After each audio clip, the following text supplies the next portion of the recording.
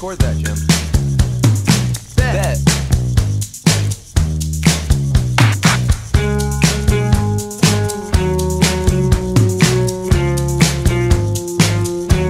Sup YT and welcome to the Dungeon Siege 3 review, the newest release in the action RPG franchise Dungeon Siege, published by Square Enix and developed by Obsidian Software. I know I haven't done a review in a long, long time, but that doesn't mean this review's automatically gonna suck. So strap yourselves in and get ready to get your faces awesomized. That's totally a word.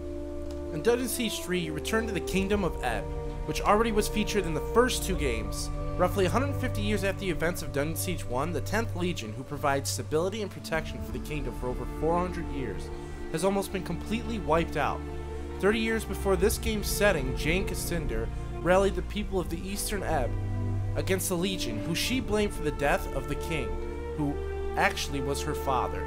Following a long and brutal campaign, she manages to kill the entire remnant of the Legion in a battle in the Rukkenvahl Forest.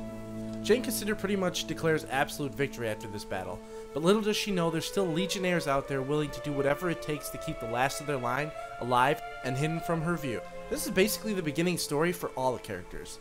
But because you get to choose from four different characters at the start of Dungeon Siege 3, each one has a different storyline. So that adds some replayability to the game, but I really don't think anybody's going to play through this game four times to see every point of view. Because I've only beaten the game once, I'm going to be reviewing this game from the point of view of Lucas Montbarron, the son of the Grand Master of the 10th Legion. Lucas basically is the main character and main protagonist of the game, and his story is by far the closest to the 10th Legion and what we would call canon. But like any good action RPG character, Lucas really can't get anything done without skills you know, nunchuck skills, bow staff skills, sword and shield skills, and of course two-handed sword skill. Dungeon Siege 3 really strips down the character progression and the character customization and just gives you a model to build on. You really can't deviate anywhere from the model, and there's only a couple of different choices you could really make that changes up how your game plays. Now, I like this and I don't like this, but I think this is great for people just breaking into action RPGs that are afraid, oh, I'm to make a mistake and my character's to suck. Because the first two games were really unforgiving with character building, and if you built your character wrong, you couldn't even beat the freaking game.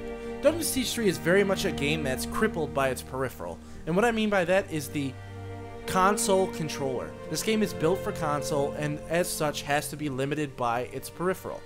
Uh, they can't give us 20, 25 skills because you couldn't possibly fit that many buttons on the controller. After all, this game is really meant to be played with a keyboard. Now the game gives you a few options on how to upgrade your skills. There's actually like a little scroll and you got like a blue one and a red one and you can go on the red one or you can go on the blue one. It's not really very advanced and it's very hard to explain because it's just a very simplistic screen. Now some increase damage, some increase, you know, how much you heal and so forth. Also, there's other attribute points for ranks, which gives you a passive bonus to crits, to healing, to... It's just pretty standard action RPG stuff. I mean, it's nothing new here. They're not reinventing the wheel. Alright, for the last thing we want to talk about in the abilities was, the game actually lets you take whatever character you didn't pick as your character, you do get to recruit them as an ally later on in the game, and it gives you full access to not only their equipment list, but also their skills and abilities, and you can pretty much customize and see everybody's skills and abilities, no matter who you pick as your main character. Dungeon Siege 3 borrows a few concepts from other games, including a dialogue wheel. Now, they don't do a lot with the dialogue wheel, but there is a hidden karma system that does affect a lot of the stuff in the game, depending on your choices. And it also can gain influence with your allies. Now, I didn't get enough influence with any of my allies to really see a difference in anything they did, so I really can't go into detail about what the influence system even does, because it really wasn't even covered in the game, I don't think. But seriously, who needs a dialogue wheel when you can just stab someone in the friggin' face? It's time to get the most important aspect of Dungeon Siege 3, the thing you'll be doing most outside of backtracking and running around following cookie dust, is the combat. Now, the combat of Dungeon Siege 3 can be summed up in two categories. Sometimes it runs smooth as silk, and other times it runs like shit. but both types have one thing in common, and that is the dodging. This game is about 80% dodging, because if you're not dodging, you're dying. It's pretty much that simple. I mean, most of the actual combat in the game pretty much boils down to dodge, dodge, dodge, pull off your three attack string, maybe mix in a special attack somewhere in there.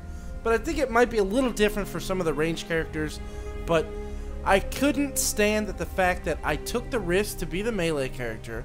I take all the risk to get in close to deal my damage. And I am as soft as a cupcake.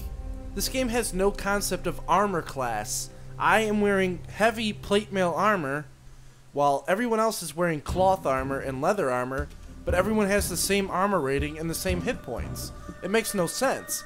I figured Lucas should be a tank. He's going to have way higher hit points. He's going to have way higher armor. He's going to be way harder to kill. But in truth, I'm just as easy to kill as Lucas as I would be as any of the other characters.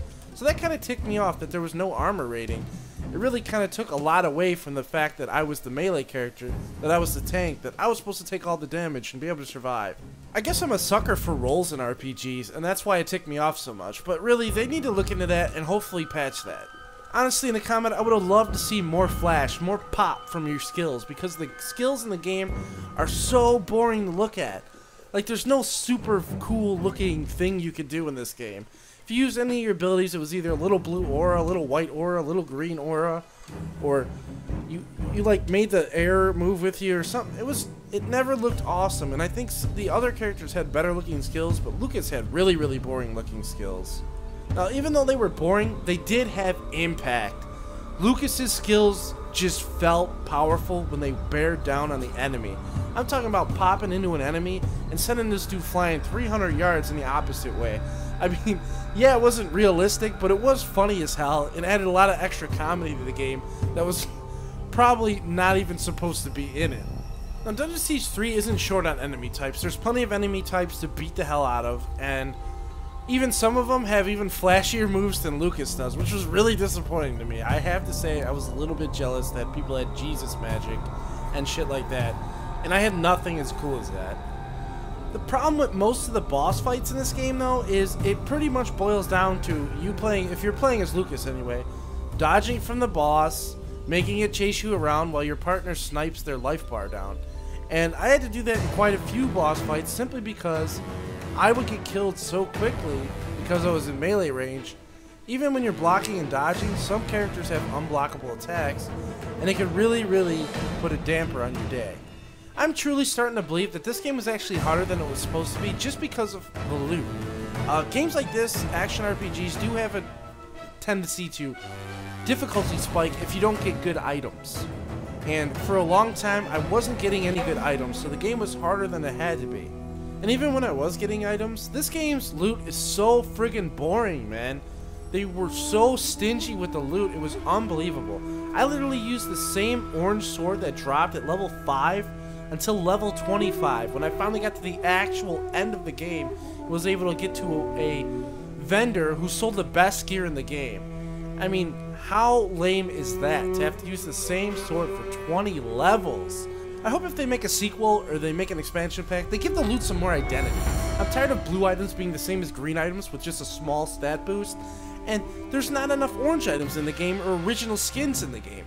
I mean, really, your character appearance never really changes, it just changes colors. Until the end of the game where you get your end game gear, and that does change your appearance, but by then, the game is over, so you can't even enjoy your appearance for very long. I literally got to enjoy the endgame appearance for 15 minutes, if that. Now, Dungeon Siege 3 has some good graphics, man.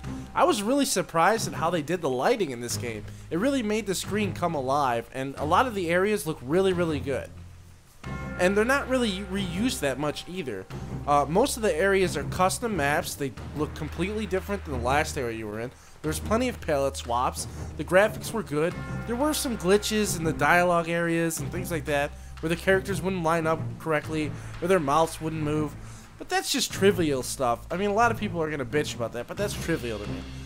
But the graphics package was well put together. I have to admit, I really enjoyed the towns, especially the one that was technologically advanced with all the mechs.